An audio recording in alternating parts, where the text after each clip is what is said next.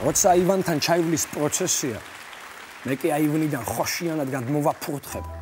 სიმღერას შეწყვეტენ ისინი, ვინც ღმერთი დამაკარგვინა და უღმერთოს მიწოდებენ. მართმადიდებლურად დაიბოღმებიან გზას ლოცვა-ლოცვით გაუყვებიან ტაძრისაკენ. აუცილებლად დამიმახსოვრებს ერთ-ერთი მათგანი, რათა მოგვიანებით როგორც კი მარხვა და სრულდება ყოვლად ბრძენი მამაოს კურთხევით საქმე გამიღჩიოს. მაგრამ ჯერ ადრეა, ჯერ 64 უნდა გაინაღდონ.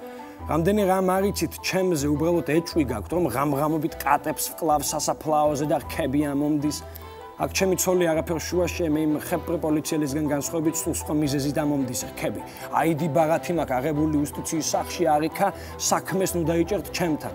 ჩემი საქმე წასულია თანამედროვე პოეზიის ანთოლოგიაში კი არა საარჩევნო სიებშიც არ ვარ. ასე რომ არაფერში მიმიძღვის ბრალი თუ არ ჩავქლით მამაჩემის უეცარ სიკვდილს, რომელიც ჩემგან განსხვავებით არის საარჩევნო სიებში. მე კი ვერლიბრებს ვეჩვევი და სმას თავს ვანებებ, ხომ ვთქვი ჩემი საქმე წასულია მეთქი. ღვაწმოსულ მწერალს აღასოს უჩუქნია ჩემთვის კალამი. აღარს დუელანტი ვარ გასული საუკუნის, აღარც კავალერი ვარ, რომელიმე ორდენის ბერეტი და შარფიც კი არ მაქვს.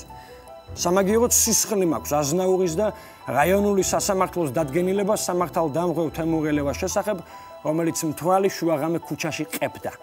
სამთარია, ახანია მკვდარი ვარ და ახლა როგორც აღასდროს რაღაცას წარმოვადგენ. წესი იმ ახალგაზრდა ყმაწვილმა ამიგო ჩემს დასახიჩრებას რომ ლამობდა მარხვის დასრულებისთანავე.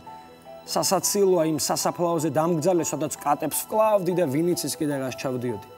მართალია ორდენის კავალერი ვერ გამხადეს, მაგრამ შარფი და ბერეტი სულაც არ ყოფილა პრობლემა.